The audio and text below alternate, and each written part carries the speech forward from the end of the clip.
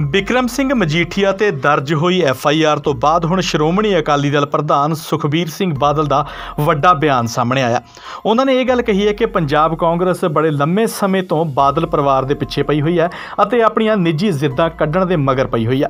ਇਸ ਮੌਕੇ ਉਹਨਾਂ ਨੇ ਪੁਲਿਸ ਦੇ ਹੋਰ ਵੀ ਉੱਚ ਅਧਿਕਾਰੀਆਂ ਦੇ ਨਾਮ ਲਏ ਨੇ, ਜੋ ਕਿ ਬਾਦਲਾਂ ਦੇ ਨਾਲ ਜਿੱਦ ਕੱਢਣ ਲਈ ਕਾਲੇ ਨੇ। ਇਸ ਮੌਕੇ ਉਹਨਾਂ ਨੇ ਹਾਲ ਹੀ 'ਚ ਤਾਇਨਾਤ ਕੀਤੇ ਗਏ ਡੀਜੀਪੀ ਚਟੋਪਾਧਿਆਏ ਬਾਰੇ ਵੀ ਬੋਲਦੇ ਹੋਏ ਕਿਹਾ ਕਿ ਚਟੋਪਾਧਿਆਏ ਪਿਛਲੇ ਲੰਬੇ ਸਮੇਂ ਤੋਂ ਬਾਦਲਾਂ ਦੇ ਨਾਲ ਆਪਣੀ ਕਿੜ ਕੱਢਣ 'ਚ ਲੱਗੇ ਹੋਏ ਨੇ, ਇਸੇ ਲਈ ਉਹਨਾਂ ਨੂੰ ਤਾਇਨਾਤ ਕੀਤਾ ਗਿਆ।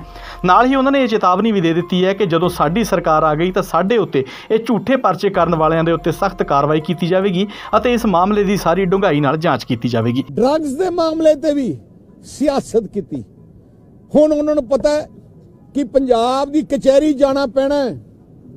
ਪੰਜਾਬ ਦੀ ਜਨਤਾ ਨੇ ਸਵਾਲ ਪੁੱਛਣੇ ਆ ਹੁਣ ਜਿਵੇਂ ਤੁਸੀਂ ਸਾਰਿਆਂ ਨੇ ਦੇਖਿਆ ਕਿ ਕੁਵਰ ਵਿਜੇ ਪ੍ਰਤਾਪ ਦੀ ਐਸਆਈਟੀ ਬਣਾਈ ਤੇ ਹਾਈ ਕੋਰਟ ਨੇ ਕੀ ਕਿਹਾ?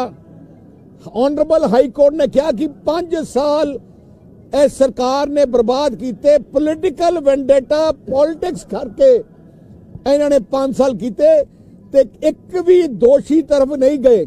ਉਵੇਂ ਹੀ ਡਰੱਗਸ ਦੇ ਮਾਮਲੇ 'ਚ ਵੀ ਪਿਛਲੇ 5 ਸਾਲ ਇੱਕ ਵੀ ਦੋਸ਼ੀ ਨਾ ਫੜਿਆ ਗਿਆ, ਨਾ ਡਰੱਗਸ ਘਟੇ, ਸਗੋਂ ਡਰੱਗਸ ਵਧੇ। ਹੁਣ ਉਹ ਜਾਣ ਕੇ ਪਿਛਲੇ ਮਹੀਨੇ ਦੇ ਲੱਗੇ ਐ, ਹਰ ਅਫਸਰ ਨੂੰ ਬਣਾਉਂਦੇ ਐ, ਤਿੰਨ ਡੀਜੀਪੀ ਬਦਲਦੇ ਐ, ਬਿਊਰੋ ਆਫ ਇਨਵੈਸਟੀਗੇਸ਼ਨ ਦੇ ਚਾਰ ਡਾਇਰੈਕਟਰ ਬਦਲ ਦਿੱਤੇ ਐ, ਹਰ ਨੂੰ ਬੁਲਾਉਂਦੇ ਐ ਕਿ ਤੁਸੀਂ ਪਰਚਾ ਦਿਓ, ਤੁਸੀਂ ਪਰਚਾ ਦਿਓ, ਤੁਸੀਂ ਅੰਦਰ ਕਰੋ।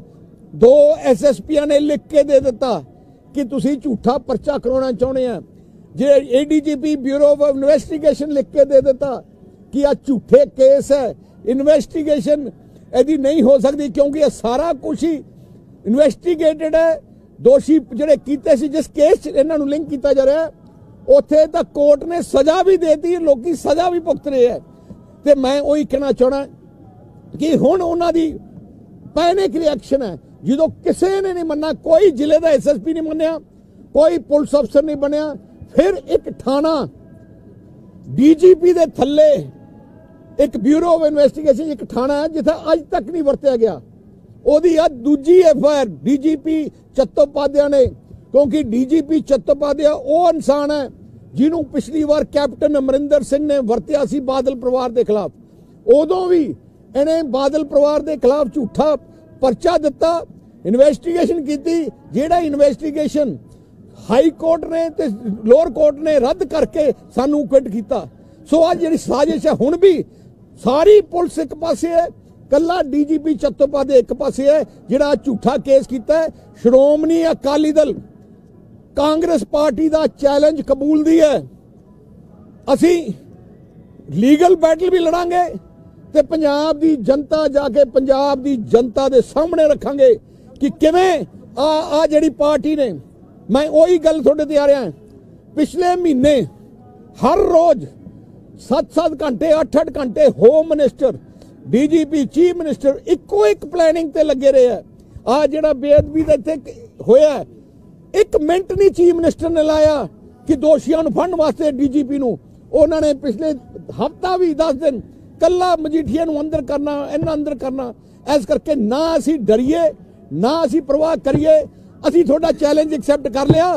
ਹੁਣ ਆਓ ਮੈਦਾਨੇ ਜੰਗ 'ਚ, ਦੇਖਾਂਗੇ ਤੁਹਾਨੂੰ ਪੰਜਾਬ ਦੀ ਕਚਹਿਰੀ ਵਿੱਚ ਜੈ ਜੀ, ਕਰਤੂਤਾਂ ਇਹਨਾਂ ਦੀਆਂ, ਜ਼ਮਾਨਤਾਂ ਜ਼ਬਤ ਹੋਣਗੀਆਂ।